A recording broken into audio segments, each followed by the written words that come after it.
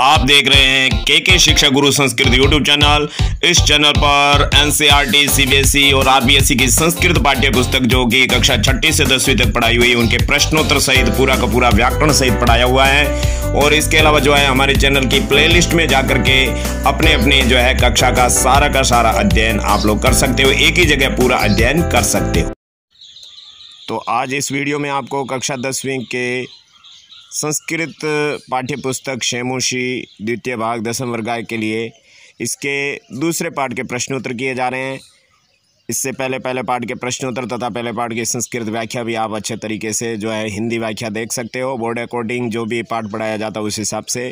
ये दूसरे पार्ट का पार्ट टू वीडियो है। इसके अंदर जो है आपके प्रश्नोत्तर पढ़ाए जाएँगे, समझाए जाएँगे। सात प्रश्न हैं, सात प्रश्नों के उत्तर सही सही तरीके से, किस तरीके से करने होते हैं, वो तरीका भी सीख लिया और सही उत्तर लिख करके आप स्क्रीनशॉट के माध्यम से अपने पाठ्य पुस्तक की जो है, अभ्यास पुस्तिका में लिख करके और सही आंसर भी बना सकते हैं। तो यहाँ पर एक पदेन उत्तरम लिखत, इसका मतलब होता है, एक शब्द में उत्तर देना है। तो यहाँ पर एक शब्द में उत्तर देने के लिए आपको जो है, पाँच प्रश्न दिए हुए हैं। सबसे पहला प्रश्न है, बुद्धिमती कुत्र व्याग्रम ददर्श, यानी कि बुद्धिमती ने कहाँ पर जो है बाघ को देखा? तो इसका सही उत्तर होगा, मार्गे गहन कानने, इसका उत्तर होगा, यानी मार्ग में, घने जंगल में। यानी कि बुद्धिमती ने कहाँ पर बाघ देखा था? मार्ग में, घने जंगल में देखा था। पाठ के अकॉर्डिंग इसका यही उत्तर होगा। कुत्र की जगह इसको सबमिट करना है, लेकिन एक पद में ही उत्तर देना है। अब अगला क्वेश्चन आपके भागी भामिनी कया विमुक्ता? यानी वो भयानक स्त्री, यानी कि निडर स्त्री कया विमुक्ता? यानी किसके द्वारा जो है विमुक्त हुई थी? मुक्त हुई थी। कौन से उपाय के द्वारा मुक्त हुई थी? अकॉर्डिंग टू लेसन इसका आंसर होगा।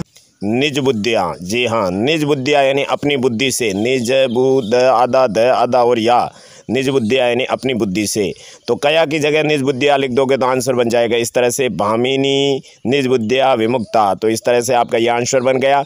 अब अगला है जो आपके सर्वदा सर्वकार्यशु का बलवती, यानी हमेशा सभी जगह क्या बलवती होती है? तो इसका सही उत्तर होगा बुद्धि। जी हाँ बुद्धि सभी जगह बलशाली होती है। तो का की जगह बुद्धि आएगा? क्यों? हाँ क्योंकि का स्त्रीलिंग शब्द है तो बुद्धि भी स्त्रीलिंग, इसका सही उत्तर होगा। अगला क्वेश्चन व्याग्रह कस्मात, विभेति। बाघ किससे डरता है? तो कस्मात पंचमी विभक्ति में तो आंसर भी पंचमी विभक्ति में आएगा। मानुषात। जी हाँ मनुष्य से व्याग्रह कस्मात, विभेति। बाघ किससे डरता है? मानुषात, यानी मनुष्य से। बाघ मनुष्य से भी डरता है, इस तरह से वो सियार अपने पाठ में कहता है। सही उत्तर होगा। अंतिम क्वेश्चन है आपका प्रत्युत्मति बुद्धिमती किम आक्षिपंती वाच? शीघ्र बुद्धि वाली बुद्धिमती क्या आक्षिपंती वाच? यानी आक्षेप लगाती हुई कहती है। इस तरह की क्वेश्चन का आंसर इस तरह से होगा। अंगुलिया त्रजयंती वाच, यानी अंगुली से अपॉइंट करती हुई, इशारा करती हुई वाच यानी कहती है। तो प्रत्युत्मती बुद्धिमती, अंगुली से इशारा करती हुई कहती है। तो इस तरह से इसका सही उत्तर होगा। ये आपका वन वर्ड आंसर पूरा हुआ। अब आपके जो है दूसरा क्वेश्चन आपके सामने रहेगा। इसका स्क्रीनशॉट लेकर के सुरक्षित रख लें। अब आपके सामने सेकंड क्वेश्चन सेकंड क्वेश्चन है, अधोलिखिता नाम प्रश्नानाम उत्तराणी संस्कृत भाषा लिखत। नीचे लिखे प्रश्नों के उत्तर संस्कृत भाषा में लिखो। तो यहाँ पर संस्कृत भाषा में लिखो, यानी काफ़ी बड़े उत्तर लिखने हैं, पूर्ण वाक्य में उत्तर लिखने हैं। तो पहला प्रश्न है, बुद्धिमती कैन उपेता पितुर्ग्रहे प्रति चालिता। तो बुद्धिमती कैन उपेता कैन की जगह एक वर्ड चेंज कर दो, बाकी सेम टू सेम लिख दो क्वेश्चन मार्क की जगह खड़ी पाई लिख दो, उत्तर बन जाएगा। बुद्धिमती कैन की जगह आप चेंज करोगे, उपेता, पतुर्ग्रह, पितुर्ग्रह प्रतिचलिता सेम टू सेम लिखना है। तो आपका आंसर इस तरह से बन जाएगा, बुद्धिमती पुत्र दयोपेता पितृग्रह प्रतिचलिता खड़ी पाई आ जाएगी क्वेश्चन मार्क की जगह। यानी कि बुद्धिमती दोनों पुत्रों को लेकर पिता के घर की ओर जा रही है। तो यहाँ पर पुत्र द्वयोपेता आएगा। किसकी जगह? कैन की जगह पुत्र द्वयोपेता आएगा। बाकी सब सेम टू सेम आएगा। इस तरह से आंसर बनता है तो आप लोगों को रटने में प्रॉब्लम नहीं होनी चाहिए। एक वर्ड्स है, उसको रट लो, बाकी सेम टू सेम होता है। इस तरह से आप जो है इनके आंसर बना सकते हैं। तो ये आपके लॉन्ग आंसर के अंदर जो है पहले प्रश्न का उत्तर आपने देख लिया है। इसका स्क्रीनशॉट ले लीजिए क्योंकि सारे साथ में नहीं आएँगे। अब आपके सामने दूसरा क्वेश्चन है व्याग्रह किम विचार्य पलायित? है बाघ क्या विचार करके भाग गया? तो इसका सही उत्तर किम की जगह चेंज कर दो, बाकी सेम टू सेम तो इसका सही आंसर होगा व्याग्रह बुद्धिमती व्याग्र मारी काचिद इति मत्वा पलायित। है बाघ ने बुद्धिमती को व्याघ्र मारे, कोई कोई यह बाघ को मारने वाली ऐसा विचार करके और भाग गया। ठीक है ना? बाघ बुद्धिमती को, ठीक है ना? व्याघ्र सेम टू सेम आ गया और विचार्य की जगह मतवा लिख दिया। आप विचार्य लिख सकते हो, नो प्रॉब्लम। तो किम की जगह क्या आएगा? किम की जगह आएगा व्याघ्र मारी काचिद यम इति इति। यहाँ तक आएगा, ओके? अब देखते हैं नेक्स्ट क्वेश्चन। लोके मैं तो भयात कै मुच्यते संसार में बहुत बड़े भय से कौन मुक्त होता है? तो यहाँ पर कै की जगह चेंज करना बाकी सेम टू सेम रहेगा। तो इसका आंसर होगा, लोके महतो भयात बुद्धिमान मुच्यते जी हाँ कै की जगह बुद्धिमान आएगा, बाकी सेम टू सेम आएगा कृष्णमार की जगह खड़ी पे आएगा। संसार में बहुत बड़े भय से बुद्धिमान लोग मुक्त हो जाते हैं। अब नेक्स्ट क्वेश्चन है आपका जम्बू के किम वदन व्याघ्र से उपहासम करोती? जम्बुक क्या कहते हुए बाघ का उपहास करता है? तो यहाँ पर इन्वर्टेड कोमा में जो कहता है, उसको लिख देंगे, उसको इनडायरेक्ट स्पीच कहते हैं डायरेक्ट स्पीच और इनडायरेक्ट स्पीच की तरह यहाँ पर आंसर बनता है। तो क्या होगा? यहाँ पर होगा, गह का उत्तर जम्बुक है। त्वं मानुषादपि विवेशी इति वदन व्याघ्र से उपासम करोती। किम की जगह इति आ गया, बाकी सेम टू सेम है, वदन व्याघ्र से उपासम करोती। जम्बू के सेम टू सेम है, किम की जगह आपने क्या लिख दिया? त्वं मानुषाद अपि विवेशी मतलब जम्बुक ने प्रथमा विभक्ति है तो नया अर्थ होगा। जम्बुक ने, तुम मनुष्य से भी डरते हो। इस प्रकार कहते हुए बाघ का उपहास किया मतलब करता है। जम्बुक तुम मनुष्य से भी डरते हो इस प्रकार कहते हो बाघ का उपास किया। क्लियर हुआ नेक्स्ट क्वेश्चन है आपका। ड़ बुद्धिमती श्रृंगालम किम उक्तवती? बुद्धिमती ने सियार को क्या कहा? तो यहाँ पर वो श्लोक है और श्लोक का जो अन्वय है वही आंसर है आपका। आ, इस आ, मतलब वीडियो के अंत में आपको हम पूरा पूरा पाठ उसमें क्या पढ़ने लायक है योग्यता विस्तार बताएँगे वहाँ पर आपको बताएँगे। तो अब इसका सही आंसर बता देते हैं। तो यहाँ पर आप देख सकते हो, ड़, का सही उत्तर है बुद्धिमती, श्रृंगालम की मुक्तवती कहती है, ड़ ये सही आंसर है, रे रे, दूरत, त्वया, मह्यम, पुरा, व्याघ्रत्रयम, दत्तम, विश्वास्य अपि, अद्य, एकम आनीय कथम यासी कथम यासी इति अधुना वद। अधुना के बाद में तन है, उसको काट देना है, क्योंकि अधुना तन ये मिसप्रिंट हो गया। अधुना वद। तो इसका सही उत्तर है, अरे मूर्ख, तुमने मुझे पहले तीन भाग दिए थे। विश्वास के स्थान पर भी, विश्वास होने पर भी। आज एक लाकर कैसे आए हो? ऐसा अब बताओ। तो इस तरह से इसका सही आंसर हो गया। इसी के साथ में दूसरा क्वेश्चन पूरा होता है। चलते तीसरे क्वेश्चन की ओर। ये आपके सामने तीसरा क्वेश्चन है स्क्रीन पर। आप देख सकते हो, स्थूल पदम आदृत्य प्रश्न निर्माण कुरुत बहुत ही इंपॉर्टेंट क्वेश्चन है। बोर्ड परीक्षा में भी आपको इस तरह का प्रश्न पूछा जाएगा। तरीका हम बता रहे हैं, पहले पार्ट में भी बताया था। स्थूल पद यानी कि जो गहरा काला पद है, उसको आदृत्य यानी आधार मानकर प्रश्न निर्माण कुरुत यानी प्रश्न निर्माण करो। तो यहाँ पर कह का जो है सही वो आ, उत्तर क्या होगा? मतलब ये प्रश्न यहाँ पर उत्तर दिए उसके प्रश्न बनाने हैं। यानी कि वन वर्ड आंसर है उसका जो है एक पंक्ति में प्रश्न बनाना है। तो तत्र राज सिंहो नाम राजपुत्र वस्ती इसमें यहाँ पर इसमें है लेकिन वो कट गया। वहाँ राज सिंह नामक राजपुत्र रहता था। तो इसका सही उत्तर क्या होगा? इसका सही उत्तर ये होगा तत्र कै नाम? ठीक है ना? राज सिंह नाम की जगह को नाम भी लिख सकते हो, कै नाम भी कर सकते हो, कै नाम। और उसके बाद में नाम सेम टू सेम आ गया, राजपुत्र सेम टू सेम, वस्ती सेम टू सेम, इसमें सेम टू सेम, इसमें आपके बुक के अंदर है। तो वस्ती इसमें के बाद में प्रश्नवाचक चिन्ह आएगा, क्योंकि आप प्रश्न बना रहे हो तो प्रश्नवाचक चिन्ह आवश्यक रूप से आएगा। स्क्रीन लेकर के आप अपनी अभ्यास पुस्तिका में लिख सकते हो और याद भी कर सकते हो। नेक्स्ट क्वेश्चन है आपका, बुद्धिमती चपेटिया पुत्रो प्रहरवती। प्रहर प्रहृतवती बुद्धिमती थप्पड़ से दोनों पुत्रों पर प्रहार करती है। तो इस उत्तर का सही प्रश्न क्या बनेगा? वो प्रश्न ये बनेगा, यानी उत्तर, बुद्धिमती कया पुत्रौ प्रहर्तवती? प्रश्नवाचक चिन्ह। तो चपेटिया की जगह कया आएगा? क्योंकि चपेटिया आकारांत स्त्रीलिंग शब्द तृतीय विभक्ति एक वचन है। तो जो भी लिंग का जो शब्द आता है, उसका किम सर्वनाम शब्द का रूप आता है। तो कया आपके किम सर्वनाम शब्द स्त्रीलिंग तृतीय विभक्ति एक वचन एक वचन है कि नहीं? तो वो चेंज किया, बाकी सेम टू सेम है। इस तरह से आप प्रश्न बना सकते हो, आप खुद बना सकते हो, बोर्ड परीक्षा में आपकी किताब में से भी आ सकते हैं, और किताब से बाहर भी, अपने मन से भी प्रश्न पूछ सकते हैं, इसलिए इस तरह से आपको सही उत्तर देना होगा। चलते हैं अगले क्वेश्चन की ओर। आपका ग व्याग्रम दृष्टवा दूरतः श्रृंगालय अवदत। बाघ को देख करके चालाक सियार ने कहा, अब तो यहाँ पर व्याग्रम को आप ध्यान में रखते हुए प्रश्न बनाएँगे। तो व्याग्रम आपके द्वितीय विभक्ति एक वचन है तो कम भी आ सकता है और क्या आ सकता क्योंकि आपके व्याग्रम पुल्लिंग शब्द है तो व्याग्रम द्वितीय एक वचन है तो किम सर्वनाम शब्द पुल्लिंग द्वितीय एक वचन में कम आएगा। कम यानी किसको? दृष्टवा यानी देखकर धूर्त के विसर्ग आएगा, यहाँ पर मिसप्रिंट है। धूर्त श्रृंगाल है अवदत यानी धूर्त श्रृंगाल श्रृंगाल ने कहा। तो यहाँ इस तरह से आपका ये आंसर बन जाएगा। कम दृष्टवा धूर्त श्रृंगाल अवदत और प्रश्नवाचक चिन्ह आ जाएगा। अब आपका अंतिम क्वेश्चन सॉरी अंतिम नहीं है सेकंड लास्ट है आपका।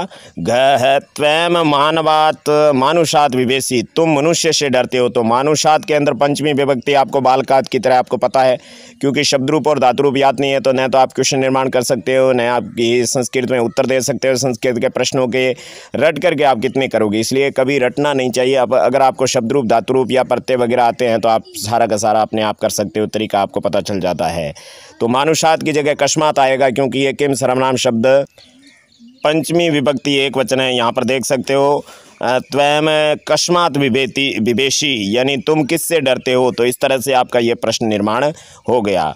अगला क्वेश्चन है आपका, अंतिम क्वेश्चन है, पुरा त्वया मयम व्याघ्रत्रयम दत्तम। पहले तुमने मुझे तीन बाग दिए थे तो इसका जो है प्रश्न बनाने के लिए आपको मयम को चेंज करना। मयम अश्मद सर्वनाम शब्द है और चतुर्थी एक वचन है तो किम सर्वनाम शब्द चतुर्थी एक वचन में कश्मई होगा। तो इस तरह से पूरा का पूरा रहेगा, त्वया का त्वया रहेगा मयम की जगह कश्मई आएगा व्याघ्र त्रयम सेम टू सेम, दत्तम सेम टू सेम और प्रश्नवाचक चिन्ह आ जाएगा उत्तर में। तो इस तरह से आपके जो है पूरा त्वया कश्मई व्याघ्रत्रयम दत्तम। इस तरह से आपके जो है तीसरा प्रश्न यहीं पर समाप्त होता है, जो प्रश्न निर्माण वाला बहुत ही इंपॉर्टेंट था। ये चौथा क्वेश्चन आपके सामने है। चौथा क्वेश्चन के अंदर आपको अधोलिखित वाक्यानि घटना क्रमानुसार क्रमानुसारेण योजित ये बोर्ड परीक्षा में भी पैटर्न के अंदर भी एक प्रश्न है ऐसा। तो यहाँ पर आपको जो है आठ वाक्य दिए गए हैं। देखिए, क, ख, ग, घ च, छ, ज, ये आठ वाक्य आठ वाक्यों को सही क्रम से लिखना है। एक वाक्य को भी क्रम बिगड़ गया तो आपके जो है पूरा आंसर गलत हो जाएगा। तो यहाँ देख सकते हो कि पहला जो है व्याघ्र, व्याघ्रमारी इयम इति मत्वा पलायित है। बाघ, व्याघ्रमारी ऐसा सोचकर भाग गया। प्रत्युत्मनति सा श्रृंगालम आक्षिपंती हुआ शीघ्र बुद्धि वाली उसने सियार को डांटते हुए कहा जम्बू का कृत उत्साह है व्याघ्र पुनः काननम अगछत सियार के द्वारा बढ़ाए गए उत्साह वाला बाघ फिर से जंगल में आया। मार्गे सा, एकम व्याघ्रम अपश्यत। मार्ग में उसने एक बाघ को देखा। व्याघ्रम दृष्टवा सा पुत्रो उताड़ियंती वाच बाघ को देख करके उसने दोनों पुत्रों को डांटते हुए कहा, अधुना एकम एव व्याघ्र विभज्य भुज्यताम। अब एक ही बाघ को बांटकर खाओ और उस उसके बाद में बुद्धिमती पुत्र द्वयन उपेता पितृग्रह प्रतिचालिता, बुद्धिमती दोनों पुत्रों को लेकर के और पिता के घर चल पड़ी। तुम तुम बाघ तीन बाघ को लेकर आना चाहिए। इस प्रकार की प्रतिज्ञा के लिए एक भी एक ही लेकर आए हो। इस तरह से छः का है त्वयम व्याघ्र त्रयम आने तुम प्रतिज्ञा एकम एव आनीतवान। उसके बाद में गलबद्ध श्रृंगाल के व्याघ्र पुनः पलायित है। गले से बंधा हुआ श्रृंगाल वाला बाघ फिर से वहाँ से भाग गया। इस तरह से आपके जो है ये वाक्य है। तो इसका सही क्रम में आपको क्या लगता है? सबसे पहला क्या होगा? सबसे पहला चय होगा। जी हाँ चय पर नंबर एक लगाया हमने। वो वाला आपको नंबर एक लगा करके लिखना है। चय चय को नंबर कै लगा करके भी लिख सकते हो, लेकिन सीधा चय नहीं लिख सकते। तो बुद्धिमती पुत्र द्वयोपेता पितृग्रह प्रतिचालिता ये पाठ के अंदर सबसे पहले बुद्धिमती दोनों पुत्रों को लेकर पिता के घर की ओर चल पड़ी। इसके बाद में सेकेंड नंबर क्या होगा? सेकंड नंबर आपका होगा घ। घ के अंदर लिखा मार्ग सा एकम व्याग्रम अपश्यत।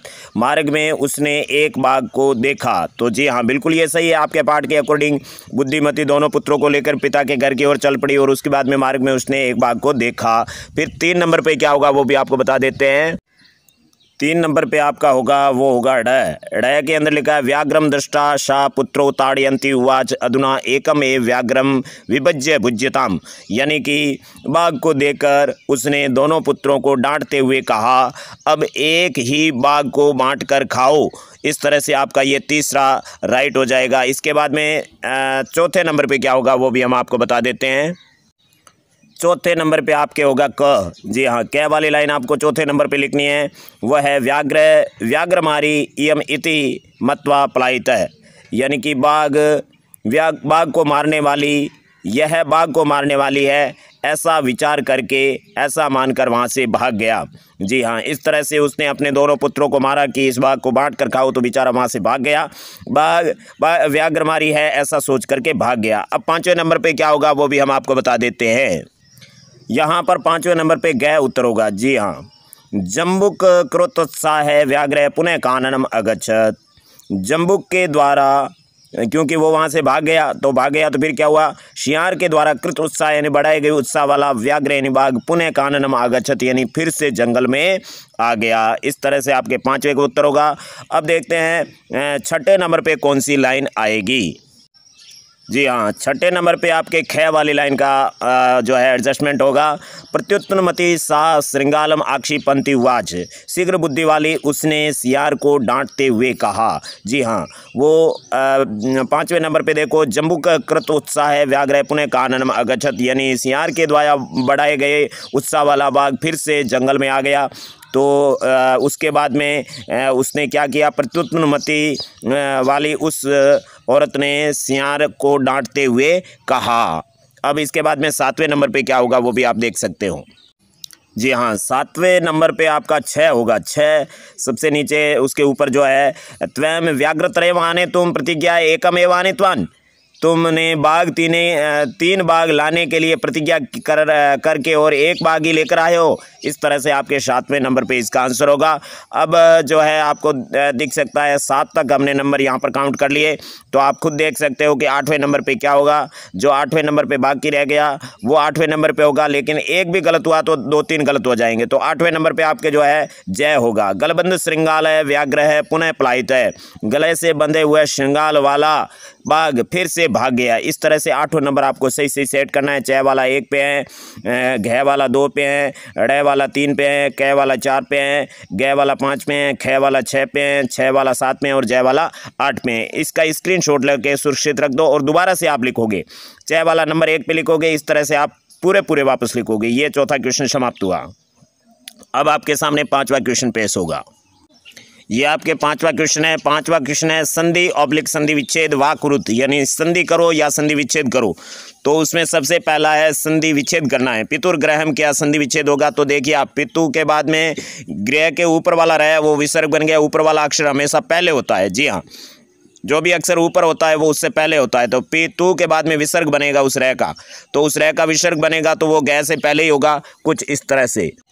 यहाँ आप देख सकते हो पितुह प्लस गृहम। तो गृह के ऊपर वाला रह है, उसको प्लस से पहले विसर्ग बना दिया। तो ये विसर्ग संधि की रुत्व विसर्ग संधि है। संधि हमारे चैनल पर बहुत अच्छे से पढ़ाई हुई है, आप पूरी पूरी पढ़ सकते हो। कक्षा दस संस्कृत व्याकरण नाम की जो प्ले है, उसमें चालीस तक वीडियो है, सारे के सारे देख करके आप अच्छे से समझ सकते हो। तो यहाँ पर पितुह प्लस ग्रहम इस तरह से आपके पितुर ग्रहम का संधि विच्छेद होगा। यहाँ पर केवल संधि विच्छेद करने को कहा है, लेकिन हम संधि का नाम भी बता देते हैं, जो व्याकरणात्मक टिप्पणी के अंदर काम आएगा, ये आपके रुत्व विसर्ग संधि है। अब सेकेंड सेकंड। के अंदर एक एक लिखा है एक एक का संधि विच्छेद आपको बता देते हैं। यहाँ पर दो मात्रा है, दो मात्रा वाला वृद्धि संधि होता है। इसलिए इसका संधि विच्छेद होगा एक प्लस एक। यहाँ पर विसर्ग नहीं होगा। स्टार्टिंग में जो आपके एक के विसर्ग लगाया, वहाँ पर विसर्ग नहीं होगा, वो भूल से लिखा है तो एक प्लस एक है, ऐसे होगा। सिंपली एक प्लस एक है तो ये आपके वृद्धि संधि है नहीं कि विसर्ग संधि ओके इस तरह से आपका जो है, ख भी राइट हो गया, जो हमने बोला है, वो आप ध्यान रखना स्क्रीन शॉट लेकर के इज़ मत लिखना।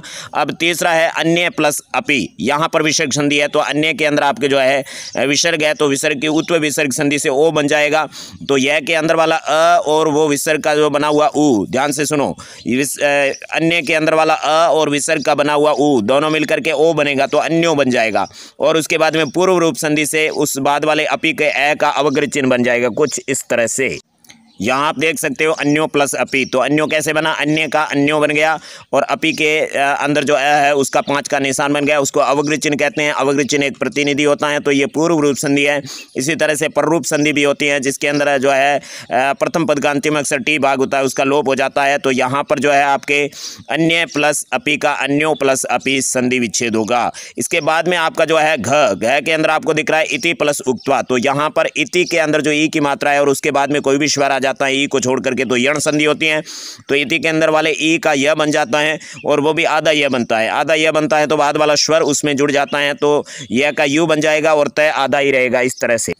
यहाँ आप देख सकते हो इत्युक्तवा लिखा है। संधि क्या होगी? इत्युक्तवा। तो यहाँ पर यह से पहले आधा अक्षर है तो यण संधि होगी, लेकिन संधि विच्छेद होगा, वहाँ कैसे पता चलेगा? इति प्लस उक्तवा। तो यहाँ प्रथम पद का अंतिम अक्षर ई है, उसका यह बन गया। तो यह बन गया, तय आधा हो गया। दिख रहा आपको इत्युक्तवा के अंदर, और उसका संधि यह के अंदर ऊ कहाँ से आया? वो उक्तवा का इस तरह से इत्युक्तवा बन गया। तो इसके बाद में आप देखते हैं ड़ के अंदर यत्र प्लस आस्ते हैं।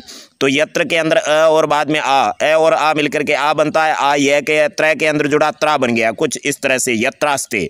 जी हाँ यत्र प्लस आस्ते का क्या बना? यत्रास्ते। ये आपके दीर्घ संधि है। इस तरह से दीर्घ स्वर संधि है। हमने संधि के नाम भी बताया संधि विच्छेद भी किया और पूरा डिटेल से आपको संधि समझनी है तो हमारे चैनल पर आप आवश्यक रूप से पढ़ें। संस्कृत व्याकरण। आगे, अभी तक आपने चैनल सब्सक्राइब नहीं किया तो जल्दी से सब्सक्राइब कर दीजिए और प्ले से देख रहे हैं तो चैनल का नाम जो है, के के शिक्षा गुरु संस्कृत विज़िट करके वहाँ पर जाकर के सब्सक्राइब करके और फिर से प्लेलिस्ट में आ जाइए, क्योंकि प्लेलिस्ट से आप शायद ही सब्सक्राइब कर पाते हो। तो यहाँ पर पांचवा क्वेश्चन समाप्त हुआ, अब चलते हैं छठे क्वेश्चन की ओर।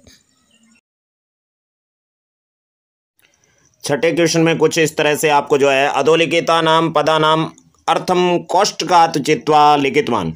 नीचे लिखे जो शब्द है, ये आपके जो है वैदिक संस्कृत के हो सकते हैं, या फिर को जो पाँच लकार के अलावा जो दस लकार है, उस लकार के हो सकते हैं। तो यहाँ पर सबसे ददर्श है, उसका सही उत्तर क्या होगा? उसका सही उत्तर होगा दृष्टमान जी हाँ ददर्श का सही उत्तर होगा दृष्टमान जो कि आपको दिख रहा है, ये दर्शितमान नहीं होगा, वो दृष्टमान राइट होगा। इस तरह से आपका सही उत्तर हो गया। अब आगे जो है आपके इसके बाद में दूसरा क्वेश्चन ख, जगाद। जगाद का अकथियत और अगच्छत। अकथियत यानी कहा अगच्छत यानी गया। तो यहाँ पर सही उत्तर होगा अकथियत। जगाद यानी कहा अकथियत यानी कहा इस तरह से आपके जो है, जगाद आपके जो पाँचों लकार में से आगे जो लकार होते हैं, उनमें से ये शब्द है। इसके बाद में आप देख सकते हो यजऊ यजऊ का भी अर्थ आपको बताना है। यहाँ पर याचितवान यानी मांगा, गतवान यानी गया। तो सही उत्तर होगा गतवान। गतवान यानी गया यजऊ यानी गया और गतवान यानी गया। इस तरह से आपका सही उत्तर होगा गतवान। तो आप समझ गए होंगे। इसके बाद में आपका जो है अत्तुम। अतुम यानी अध धातु है, अध का मतलब खाना होता है तो सिंपली इसका खादितुम होगा खाने के लिए। तुम प्रत्यय लगेगा, अत्तुम यानी खाने के लिए, खादितुम यानी खाने के लिए, आविष्कृतुम यानी आविष्कार करने के लिए नहीं होगा। तो सही उत्तर आपको चूज़ करना है। नेक्स्ट आपका मुच्यते। मुच्यते यानी मुच धातु है, मोक्ष करना है तो मुक्तो भवती मुग्नो भवती तो मुक्तो भवती इसका राइट होगा। मुक्तो भवती राइट होगा, जिसके आपके टिक लगाया हुआ है। और इस तरह से आपके जो है, मुच्यते का सही अर्थ होगा, जो आपके पाठ के अंदर से लिया हुआ है। लास्ट है आपका ईक्षति ईक्ष धातु ईक्ष का मतलब देखना होता है। पश्चिति इसका राइट होगा, इच्छति नहीं होगा तो पश्चिति पे हमने राइट लगा दिया। जिस जिस पे राइट लगाया, इसी तरह से आपको भी राइट लगाना है नोटबुक के अंदर। और सही उत्तर करना है। तो इसी के साथ में आपका छठा क्वेश्चन यहीं पर समाप्त होता है। छठे क्वेश्चन के अंदर जो है, आपके इस तरह से राइट लगा करके क्वेश्चन राइट करना। है अब अंतिम क्वेश्चन है सातवां। सातवां क्वेश्चन आपके सामने है। सातवें क्वेश्चन के अंदर आपको पाठा, चित्वा, प्रायवाची शब्दात लिखत प्रायवाची शब्द आपको लिखना है। पहला है वनम, उसका काननम, जो कि पाठ के अंदर से लिखना है। कानन इसका प्रायवाची है, श्रृंगाल का प्रायवाची शब्द है, जो आपको लिखना है, वो पाठ में से लिखना है और पाठ में श्रृंगाल का लिखा हुआ है जम्बू का है। तो ये जम्बू का आपका राइट होगा। इसी तरह से आपको पाठ के अंदर से ही प्रायवाची शब्द लिखने हैं, बाकी कहीं से नहीं लिखना है। शीघ्रम का प्रायवाची शब्द होगा। तूर्णम और सत्वरम, दोनों लिखे हैं तो आपको दोनों ही लिखने हैं। शीघ्रम के दो प्रायवाची शब्द है, पाठ के अंदर लिखे हुए हैं, तूर्णम और सत्वरम। अब आपके जो है, यहाँ पर पत्नी शब्द है। पत्नी शब्द के लिए प्रायवाची शब्द है, वो पाठ के अंदर क्या लिखा हुआ है, वो आपको यहाँ पर लिखना है, वो शब्द है भारिया। जी हाँ। भारिया शब्द आपके पाठ के अंदर लिखा हुआ है, वो आपके यहाँ से लिखना है, और गच्छसी का जो है, यासी लिखा है, वो आपके श्लोक के अंदर, वो शब्द यहाँ पर लिखना है, ये प्रायवाची शब्द आपके पाठाचित्वा लिखा है, यानी कि पाठ से चुनकर ही लिखने हैं। अब आपके जो है, ये स्क्रीन शॉट लेकर के आपको सुरक्षित रखना होता है, वीडियो पीछे लेकर के। अब आ है वो सातवें का आ पाठाचित्वा विपरीतार्थक शब्द लिखे, यानी कि विलोम शब्द लिखना है। पहला है प्रथम है, उसका विलोम शब्द है द्वितीय, अन्य द्वितीय इस तरह से है। और उक्तवा का जो आपके विलोम शब्द है वो श्रुत्वा, उक्तवा यानी कहकर, श्रुत्वा यानी सुनकर, इस तरह से प्रायवाची शब्द के बाद में विपरीतार्थ शब्द यानी कि विलोम शब्द आपको यहाँ पर लिखने हैं। अधुना का विलोम शब्द है तदा, जो कि आपके पाठ के अंदर है। अवेला अवेला का विलोम शब्द आपके पाठ के अंदर है वेला तो आपको वेला लिखना है, इस तरह से आपको सही सही लिखना है। और उसके बाद में है बुद्धिहीना, इसका विलोम शब्द है, वो आपके बुद्धिमती होगा। क्यों, क्योंकि यहाँ पर बुद्धिहीना स्त्रीलिंग है तो बुद्धिमती भी स्त्रीलिंग होगा। बुद्धिहीना के अंदर टाप पड़ते हैं बुद्धिमती के अंदर गीप पड़ते हैं स्क्रीन शॉट लेकर के सभी आप सुरक्षित रख लें। और इसी तरह से आपके जो है, ये प्रश्नोत्तर पूरे हो गए, लेकिन पाठ पढ़ने और जो है प्रश्नोत्तर पढ़ने से कुछ नहीं होगा। ये आपका पाठ है, इसको किस तरीके से पढ़ना है, इसकी हिंदी व्याख्या कैसे करनी है, ये आपके पाठ के आगे का भाग है। इसको भी आपको अच्छे तरीके से पढ़ लेना है और इसके अलावा जो यहाँ पर शब्दार्थ लिखे हैं, वो भी आपको अच्छे से पढ़ लेने हैं और शब्दार्थ के नीचे अन्वय लिखा है, उसको भी अच्छे से पढ़ लेना है। परंतु सबसे ध्यान देने योग्य है भाषिक विस्तार के अंदर, भाषिक विस्तार के अंदर भाषिक योग्यता लिखी है, उसके अंदर जो भी व्याकरणात्मक टिप्पणी लिखी है, उसको भी आप अच्छे से पढ़ लें।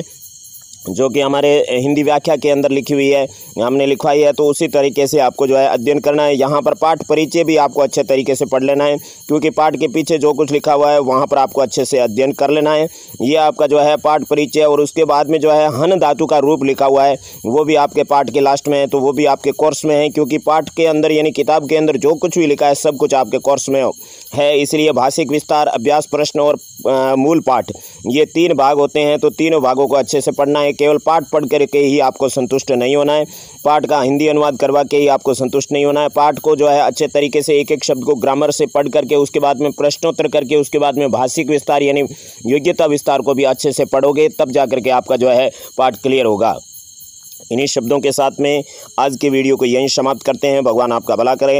हे भगवान, भला सबका करो, लेकिन शुरू हमसे करो। छठी से दसवीं तक संपूर्ण संस्कृत पढ़ने के लिए चैनल सब्सक्राइब करें।